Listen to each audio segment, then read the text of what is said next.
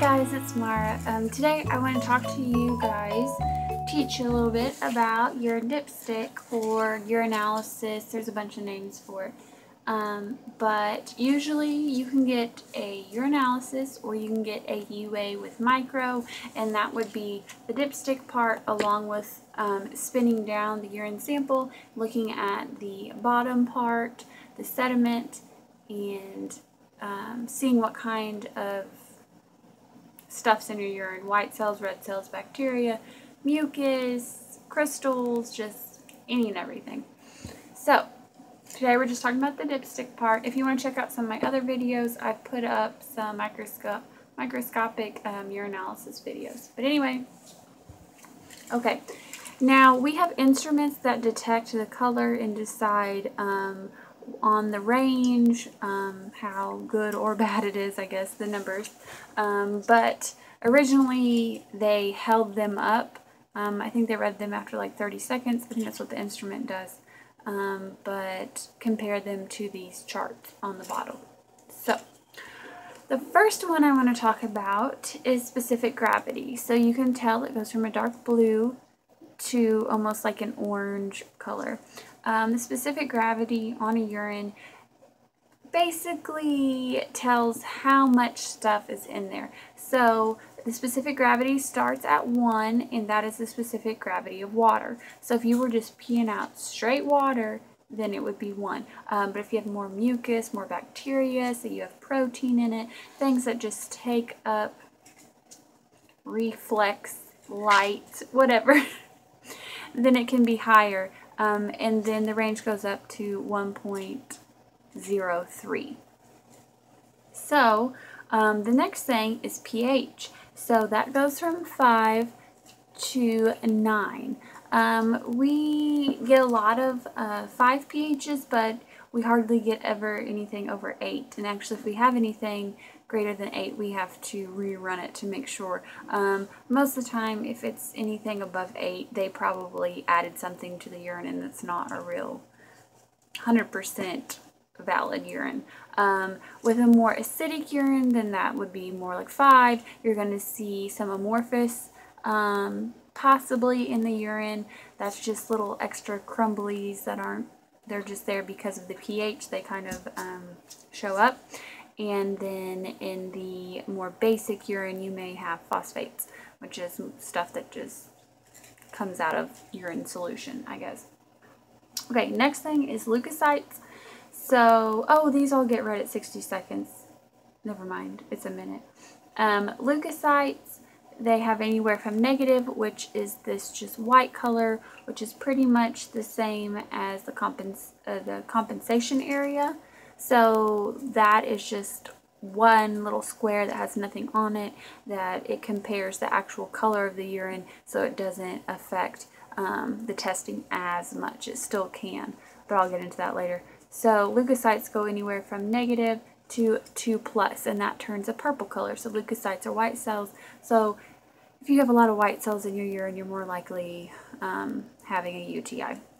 So the next one is nitrites. It has um, just like basically a compensation square, and then any kind of pink. You can barely barely tell it's a little bit pink. Um, usually when we have nitrites in urine, it is a lot of pink. It's like a bright pink because nitrite uh, producing bacteria produce nitrite, nitrate, nitrite, nitrite producing bacteria produce nitrite, and that picks up on it. So you can have bacteria, all sorts of bacterial uh, UTIs but they aren't all nitrate producing bacteria. Mostly like the poop bacteria like E. coli and stuff like that produce nitrites.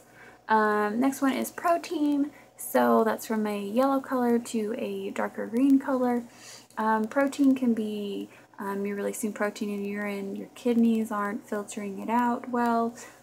Back in, um, you can have casts in urine, which are actually protein that has encoded the inside of your kidneys and then you kind of pee them out. So that's not a good sign either. Um, I see that in patients um, on like heavy drugs or going through renal failure because they're older and their kidneys are just dying. Next one is glucose. So we have anything from normal, 50, 100, 250, all the way up to 1,000. So mm, for the most part, only diabetic patients will have glucose in your urine. Um, a lot of those drugs like metformin will make you release glucose in your urine. That's how it tries to get your blood glucose down is basically you're just peeing it out. Um, but glucose in your urine, you're more likely to get yeast infection, uh, yeast UTIs, and um, bacteria because bacteria feeds off glucose. So um, next thing is ketones. So another thing, um, if you eat a high protein diet, um, the ketogenic diet, you're going to have ketones in your urine. Um, if you've thrown up, probably ketones. If you haven't eaten a whole lot, you can start producing ketones. If you're in ketoacidosis and you're diabetic and your sugars are going crazy, then you will definitely have ketones in your urine. So it's not always like a super bad thing, but like starvation mode, you'd have ketones. Um, urobilinogen, I'm pretty sure that's like the breakdown of bilirubin um, that hasn't crossed all the way over. It has to do with your liver and then um, your GI and then over to your urine. But yeah, that one can show really pink. Um, one thing that can give you a super high urobilinogen that is false is if you are on um, that over-the-counter treatment for UTIs that coats your bladder and makes your urine really orange. Um, that will falsely make this really high. Also can make you have false nitrites because it's a pinkish color, the orange it doesn't always get co compensated super well in your urine and so it'll it thinks it's actually orange um, and will make these two positive and high. Um, next one we have is bilirubin, same thing. Sometimes when we turn out our testing it says um, basically there's a canned comment that says we can't for sure say it's bilirubin because of the colors and stuff like that. Um, and last thing is blood hemoglobin.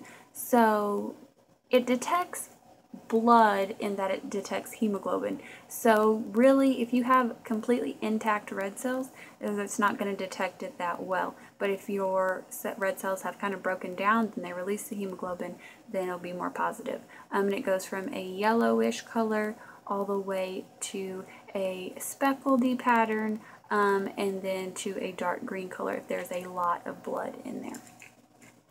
And that says about 250 erythrocytes per microliter, so that's a lot.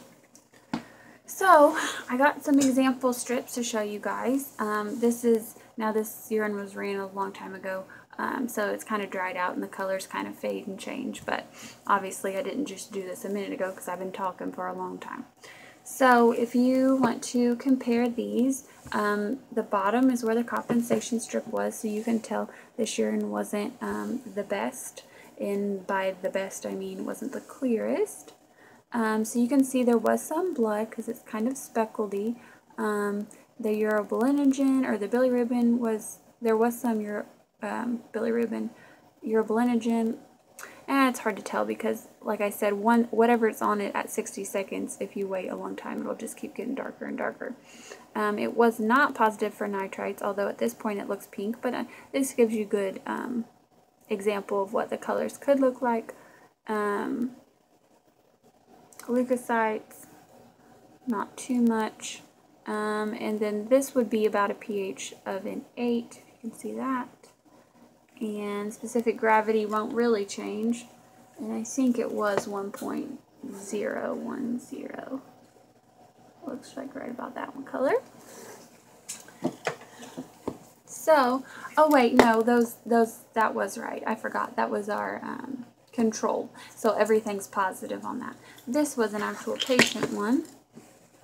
Um, and you can see its specific gravity was a little higher. There's more stuff in it um, pH is about 5, that was right.